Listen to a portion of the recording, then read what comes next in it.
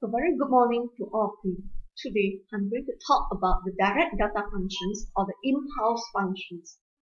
Dirac delta function represent an extremely large force. Large force acting for a minutely small interval of time. It is denoted by delta t minus a. Delta t minus a is equal to 0 when t not equal to a delta t minus a equal to infinity when t equal to a. Its graph is represented by an arrow at t equal to a. The arrow represents the very large force. t not equal to a, delta t minus a is equal to 0. Okay, when a equal to 0, we have delta t. So similarly, delta t is equal to 0 when t not equal to 0. Delta t equal to infinity when t equal to 0. Here, when a equal to 0, is actually at the vertical axis, we have a very large force represented by an arrow. When t not equal to 0, delta t is 0. That's why its graph is look like nothing there, only vertical and horizontal axis. Area of the Dirac delta function is always 1 or is given by the integral of delta t minus a dt from p to q is always equal to 1 as long as a is inside the interval p to q. a is inside the interval p to q. To prove this, the integral delta t minus a dt from P to Q is divided into three regions. The region P to A, A to A, A to Q. Okay. As we know, Dirac delta function is equal to 0 in the interval P to A, A to Q. That's why this is 0. It is 0. Okay, when t equal to A, delta t is a very large value value represented by an arrow. That's why it consists only big value without uh, the width. That's why the area is equal to 1. Okay, and then we have number 5. The integral of ft delta t minus a dt from p to q if a is inside the interval p to q the result of this integral is actually equal to fa. Okay, to prove this, again we break the interval of pq to pa, a to a, a to q. And we know that Dirac delta function delta t minus a is equal to 0 from p to a and from a to q. Once when t equal to a, we have fa if fa, then we know that the area of Dirac delta function is equal to 1. Hence we get fa. So again, this is very useful integral. Delta, uh, integ sorry, integration of the ft delta t minus a dt from p to q is equal to fa. Okay, example 1 evaluates integral of t squared plus 4 delta t minus 2 dt from 1 to 3. Notice that 2 here is inside the interval 1 to 3. Hence, to evaluate this integral, what we need to do is just substitute t equal to 2 in the functions ft.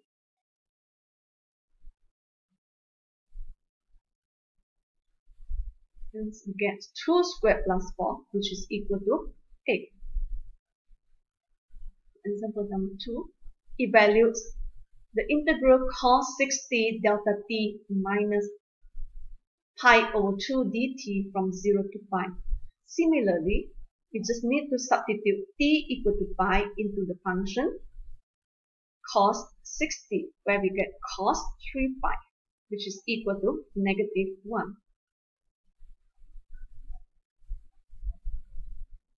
Now, we look at the Laplace transform of delta t minus a.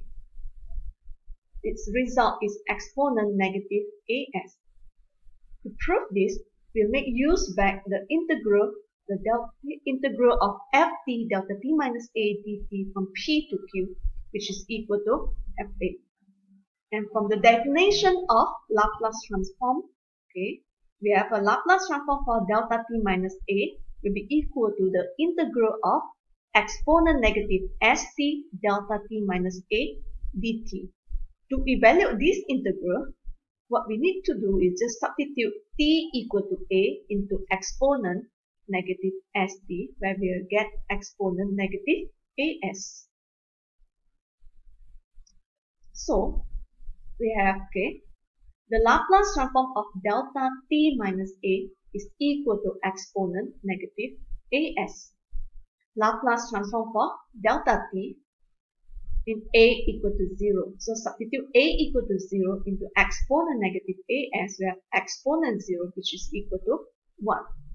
Laplace transform for ft delta t minus a will be equal to fa exponent negative as. To prove this, against k, we make use of the definition of Laplace transform, where we have the integral of exponent negative st ft delta t minus a dt from 0 to infinity. To evaluate this okay, integral, we substitute t equal to a into ft, then in, into exponent negative st.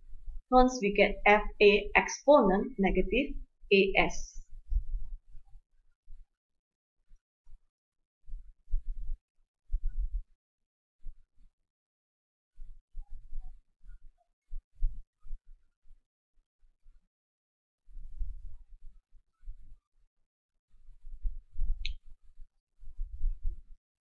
okay um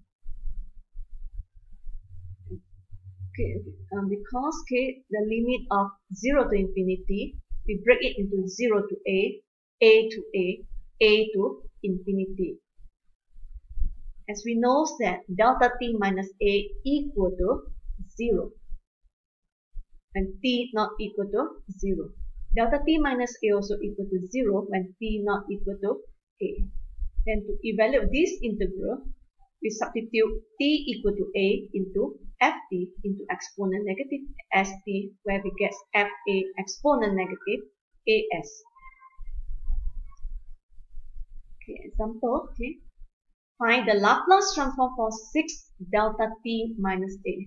So we have 6 exponent negative 4s. Laplace transform for t cubed delta t minus a.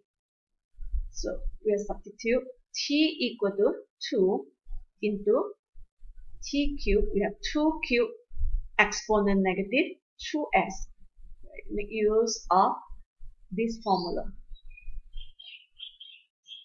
Laplace transform for ft delta t minus a is fa exponent negative as.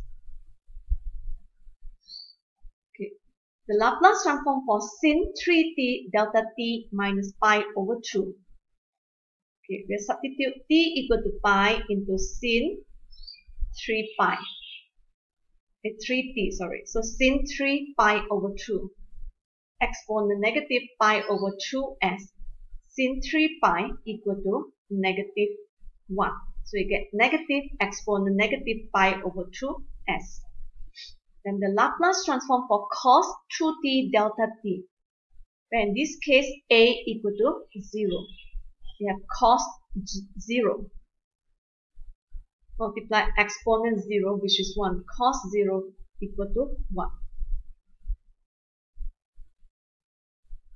Okay, as a summary, we have okay, delta t minus a is equal to 0 when t not equal to a delta t minus a equal to infinity when t equal to a. The graph of delta t minus a is represented by an arrow at t equal to a. When a equal to 0, okay, delta t is equal to 0 when t not equal to 0. Delta t equal to infinity when t equal to 0. its graph is like nothing there, only vertical and horizontal axis. So delta t minus a dt p to q, is the integral of delta t minus a dt from p to q is equal to 1 as long as a is in the interval p to q. The integral of ft delta t minus a dt from p to q is equal to f a as long as a is in the interval p to q. The Laplace transform for delta t minus a is equal to exponent negative as. Laplace transform for ft delta t minus a is equal to fa exponent negative as.